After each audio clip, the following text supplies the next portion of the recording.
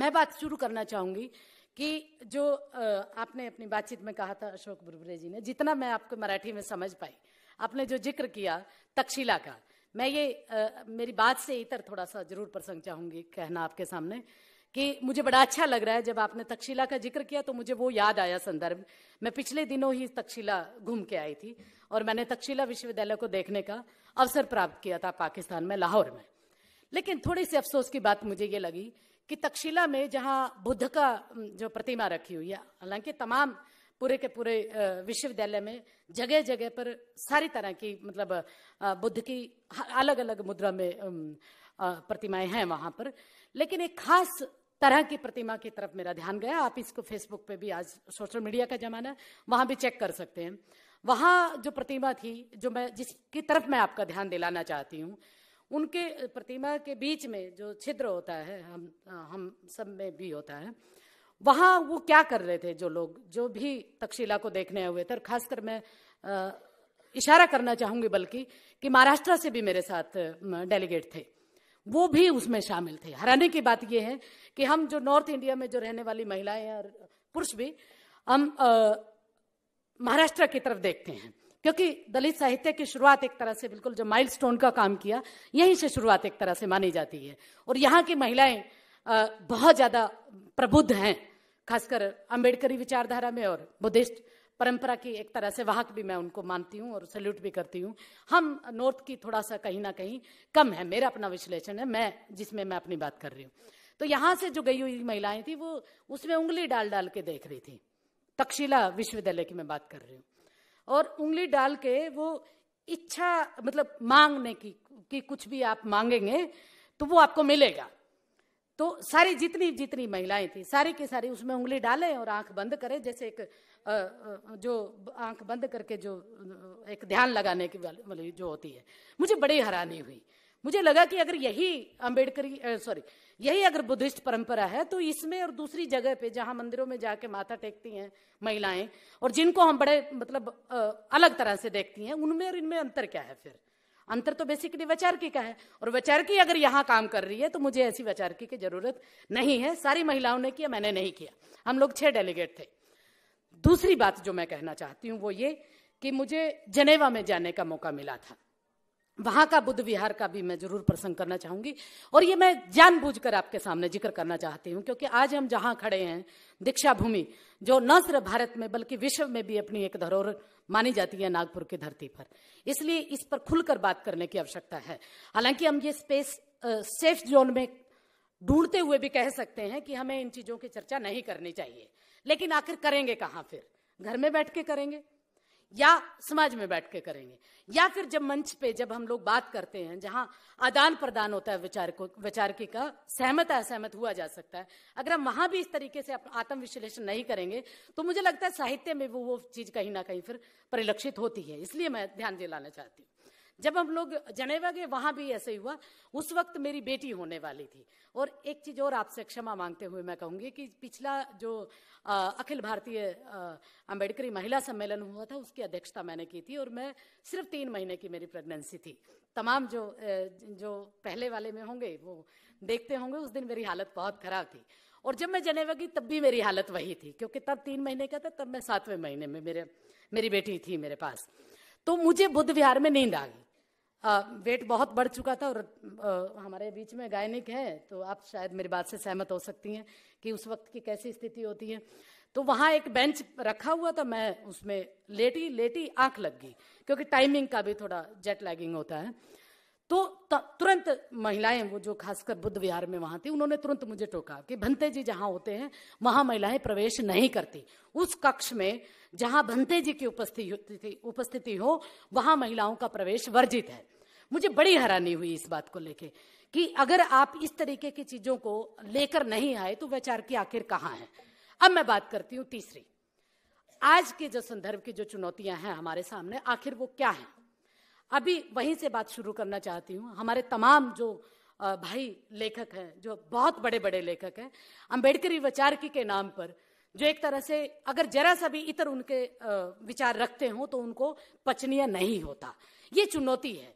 और ये महिला होने के नाते इसलिए चुनौती है, क्योंकि आखिर हम फिर उन चीज़ों को देखें कैसे? मैं ज़िक्र करने में मुझे कोई गुरेज नहीं, सीधा नाम लेके मैं करना चाहूँगी। पिछले दिनों इसी के ऊपर ज़्यादा बहस हुई। आजकल सोशल मीडिया का जमाना है। धीरे धीरे साहित्य ने एक तरह से जगह जो ली है, वो सोशल मीडिया उसको कन्वर्ट करता जा रहा है। आज कई तो पुस्तकें, लेखक भी पुस्तकों को संपादित जो कर रहे हैं, वो जो फेसबुक पे जो लिखा जा रहा है, उसी को संपादित भी करते हैं। तो इसका मतलब ये हुआ कि आप जो फेसबुक मीडिया पे या सोशल मीडिया पे डालते हैं, वो इतना नकारा भी नहीं होता। अगर आप उसको पुस्तक के रूप में संपादित कर रहे होते हैं तो साहित्य है। अगर साहित्य है तो इसका मतलब वो फेसबुक पे डाली गई चीज़ें इतनी नकारा नहीं हो सकती। मैं कहना चाहती हूँ ये कि अंबेडकरी विचार की, की जो आज चुनौती जो मुझे नज़र आती है वो व्यक्तिगत रूप से भी मैं कह सकती हूँ यहाँ कि आज के जो धुरंधर हमारे जो लेखक हैं वो महिलाओं से सर्टिफिकेट मांगना शुरू कर चुके हैं। अंबेडकरी विचार की क्या है उनको इससे कोई मतलब नहीं होता। उनको मतलब होता है कि हमारी महिलाएँ चश्मा क्यों पहनती हैं? काला चश्मा लगाकर फ़ोटो क्यों डाली है फेसबुक पे? उनके विचार की है कि वो ये कहते होते हैं कि अच्छा ये इसको क्या पता ये पता नहीं कहाँ से जुगाड़ करके कर क्या रहे हैं ये हमें तो समझ नहीं आता। भले ये इस तरीके की जो चुनौतियाँ जो महिलाओं की जो सामने आती है पिछले दिनों बहुत बहस हुई फेसबुक पे और आ, बिल्कुल बड़े लेखकों के द्वारा। मेरे सामने प्रोफेसर विमल थोराटी हैं जिनको हमने मैंने तो कम से कम दिल्ली में जब मैं आई थी, मैंने इनको देखते हुए मैं एक तरह से बड़ी हुई हूँ। क्योंकि जब मैं दिल्ली, मैंने जेएनयू में जब पीएचडी में प्रवेश लिया था, तब मेरा एक तरह से उस तरीके का इंटरवेंशन था ही नहीं। और मुझे ये स्वीकार करने में भी कोई गुरेज नहीं है। हमने तमाम जो लेखक है हमारे, उनको पढ़ते हुए सीखा है, उनके व्यक्तित्व को देखा है, उनकी खामियों को भी नजरअंदाज किया है, और उनकी खूबियों को भी बहुत अच्छी तरह सराहा है। लेकिन अगर तमाम जो मेरी पीढ़ी की जो महिलाएँ हैं, अगर थोड़ा सा भी काम करती हैं तो फेसबुक पे विचार की इस तरीके से चलाई जाती है कि वो नगण्य होती हैं। मैं यहाँ बात का ध्यान सीधे शब्दों में बजाय घुमा फिरा के करने के जो जो हमारा स्तरीकरण है, वर्ण व्यवस्था से लेके जो शुरू हुआ जातिवाद, वो जो स्तरीकरण है, वो जो एक हरकी हमारे समाज के अंदर है, वो हमारे बीच में से भी है। और वो ना सिर्फ़ एक तरह से वैचारिकी तक सीमित है, बल्कि वो हमारे इतना अंदर गहरे से पैट की हुई है कि अगर कोई भी महिला और खासकर उस स्तरीकरण में अगर वो महिला आती है और वो कुछ भी बात करती है तो उनके लिए सबके लिए, खासकर उस वर्ग के लिए जो अपने आप में स्थापित साहित्यकार हैं, जो अपने आप में बहुत बड़ी लेखिकाएँ मानती हैं, जो अपने आप में बहुत बड़े धुरंधर लेखक कहते हैं, वो सिर्फ़ ये लेखक तक नहीं कहते, बल्कि ठेकेदारी भी उन्होंने ली हुई है और वो इसके ऊपर बहस करते होते हैं कि किसी भी महिला ने किसी भी फेसबुक पे चश्मा लगा के फ़ोटो क्यों पोस्ट की? किसी भी महिला ने चश्मा लगा के बाबा साहब अंबेडकर के बारे में जय भीम क्यों लिख दिया? जय भीम का सर्टिफिकेट भी आज देने की ज़रूरत है महिलाओं को। और उन महिलाओं को जो इतने संघर्षों से निकलती हैं, मैं अगर अपना व्यक्तिगत अनुभव आपके सामने साझा करूँ, मैंने अभी हिंट में बताया आपको, आप सोचिए, जब मैं नागपुर से यहाँ तक चली थी, मेरी तीन महीने की प्रेगनेंसी थी। और जब मैं जनेवा में थी, तब मेरे सातवां महीना, आठवां महीना लगा हुआ था। क्या कम बात है? और आप इसके ऊपर सवाल खड़ा करते हैं कि आप महिलाएँ जो नागपुर में जो इकट्ठा होती हैं, वो उनका वैचारिक कुछ नहीं है, वो बिंदी लगाती हैं, वो चूड़ियाँ पहनती हैं, वो किसी भी सामाजिक संघर्षों में योगदान नहीं देती। मैं बता दूँ आपको, हमारी महिलाएँ बढ़ चढ़कर हिंसा लेती हैं।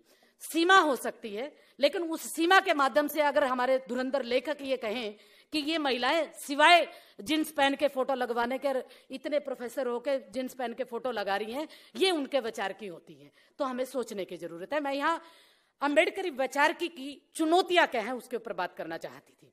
और वो चुनौती ये है कि आप अगर वाकई में अंबेडकरी विचारधारा को मानते हैं तो बाबा साहब भीमराव अंबेडकर एक ऐसे शख्सियत हुए हैं न सिर्फ़ दलित बहुजन समाज की महिलाएँ बल्कि तमाम वो महिलाएँ जो प्रगतिशील थी जो समाज के निर्माण की भूमिका में बड़ा योगदान दे रही थी वो सारी की सारी उनके साथ थी। क्यों उनके साथ थी ये महत्वपूर्ण सवाल है। क्यों आज तक उनके ऊपर प्रश्न नहीं उठाया गया? क्यों महिलाएँ दिन रात महाराष्ट्र का तो कम से कम पूरा का पूरा आंदोलन हमारे सामने है। चा, चारवाड़ का आंदोलन लीजिए मंदिर का कालाराम का किसी भी तरह का आंदोलन बाबा साहब का ले लीजिए। उनमें महिलाएँ कितनी संख्या में थी मुझे लगता है भारत के इतिहास में कोई भी ऐसा आंदोलन नहीं हुआ जितमें जितनी बड़ी संख्या में महिलाओं ने साथ दिया था जो बाबा साहब भीमराव अंबेडकर का था। लेकिन उसके बाद हुआ क्या आखिर? जो वैचारिकी की जो जो जो शुरुआत जो वहाँ से थी, वो यहाँ आकर ठहरती है कि हमारे दलित लेखक इस बात के ऊपर चर्चा करते हैं। कमल भारती जैसे लेखक जो बड़े अपने आप को धुरंधर मान रहे हैं, उसके टुचपैया इतने, मैं माफ़ी मांगती हूँ शब्दों की सीमा तोड़ते हुए, ऐसे टुचपैये लेखक एक तरह से ऐसे लेखक बात करते हैं महिलाओं के बारे में, जिनका खुद का सेक्सुअल हरासमेंट का केस लग के नौकरी से निकाल दिया गया है। और वो ये विश्लेषण करते होते हैं कि एक सामाजिक कार्यकर्ता, एक लेखिका और एक प्रोफेसर, इन तीनों में क्या अंतर है? ये अंतर पुरुष डिसाइड कर रहे हैं। वहाँ बैठे हुए, जहाँ तमाम दुनिया के लोग उनको देखते होते हैं फॉलोवर्स देखते होते हैं, बात करते हैं, एक साहित्य रचा जा रहा है। आज सोशल मीडिया के माध्यम से भी एक साहित्य की एक नई पीढ़ी आ चुकी है, जिसको आप नजरअंदाज नहीं कर सकते। अगर इस तरीके के सम्मेलनों में ये चर्चा हम लोग नहीं करते हैं तो मुझे लगता है अम्बेडकरी साहित्य, खासकर महिला अम्बेडकरी विचार की में, कहीं ना कहीं उन बिंदुओं को हम छोड़ देंगे, जो हम जी रहे हैं। अगर उसको नजरअंदाज आप करते करते चले, मैं मतलब मुझे हैरानी हुई इस बात की कि किसी ने मुझे सीधा ये कहा, सेम ऑन यू. मैंने कहा, भाई, किस लिए सेम ऑन यू? कह रहे, आप अपने समाज के लिए तो कुछ कर ही नहीं रहे। अब बताइए, अब आप, या तो फिर जानबूझ के आप उसको जातिवाद में धकेलना चाहते हैं, ताकि आप सवाल सिर्फ़ जाति का करें। ये कौन सी अम्बेडकरवादी विचारधारा है? आप खुद जानबूझ के उसको इस लेवल पे लेके आना चाहते हैं कि वो आपको बताए, उसको हिंदी आती है, इंग्लिश आती है, या संस्कृत आती भी है या नहीं आती है। अब सोच के देखिए। भले अगर ये विचार की यहाँ तक आ चुकी है तो जो वर्ण इत्र जो बात थी, या फिर हम कहें जो वर्णवादी व्यवस्था जो, जहाँ हम लगातार जो संस्कृत के जो विद्वान है, जो ये कहते हो, थक, नहीं थकते मानिषाद प्रतिष्ठा तो अगम शाश्वती समय क्रोच मथुरादे कम वधि काम हो या ये कहें, सर्वे भवंतु सुखी न सर्वे संतु निरामय।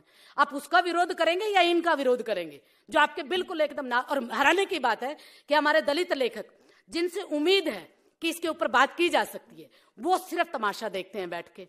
या तो ये कि वो टारगेट करते हैं किसी एक जाति को कि इस जाति का व्यक्ति अगर दलित बहुजन की बात करता है तो उसको ये करने का अधिकार नहीं है। ठीक उसी तरह हमारे दिल्ली विश्वविद्यालय में, मैं दिल्ली विश्वविद्यालय में संस्कृत पढ़ाती हूँ और संस्कृत लोगों के बीच में रहती हूँ।